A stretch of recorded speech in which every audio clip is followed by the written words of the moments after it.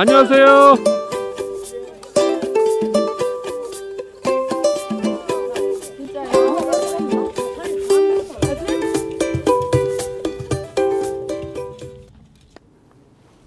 안녕하십니까.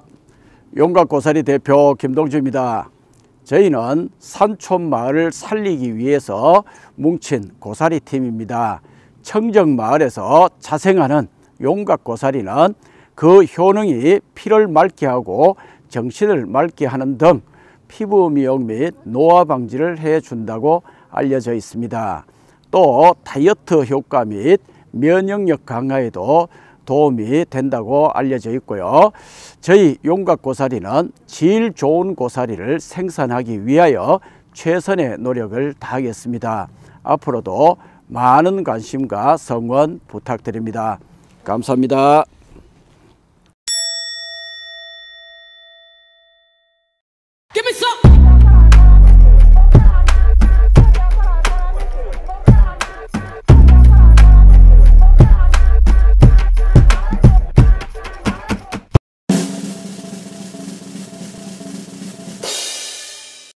레디 액션.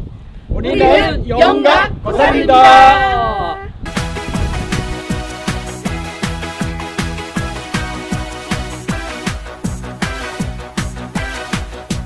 그저 바라만 보고 있지 그저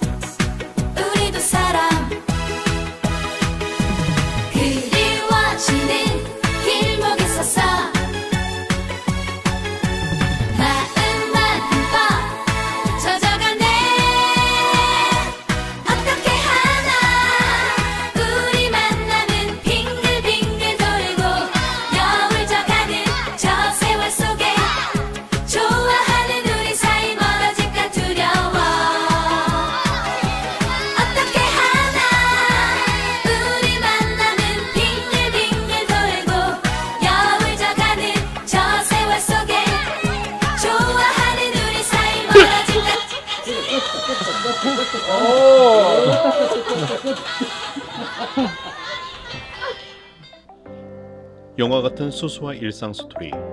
감성근육 1020